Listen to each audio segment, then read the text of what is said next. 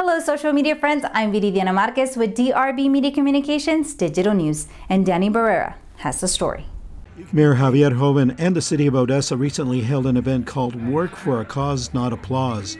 Residents came out to the former Hollywood Theater location inside Music City Mall to meet officers with the Odessa Police Department and Odessa Fire Rescue.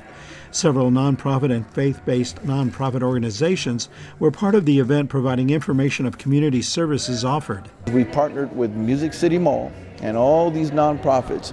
What we want to be able to do is make a focus of family and also those that are uh, have been diagnosed with cancer, surviving cancer, and come together in a moment of community and worship and just uh, a, a sense of community that everyone belongs. A praise and worship Christmas concert was also held near the carousel area of Music City Mall. So why not come together? Even the even the churches that are represented here. Mayor Joven, what, what does he want to see for his community? Something good. He just wants to help elevate it, get it better, get things better. You know what I mean? And so if we all have the same mission at the end of the day, then we should always come together anytime. Kids and families enjoyed hot cocoa and received freebies and goodies in celebration of the Christmas season. For DRB Media Communications Digital News, Danny Barrera.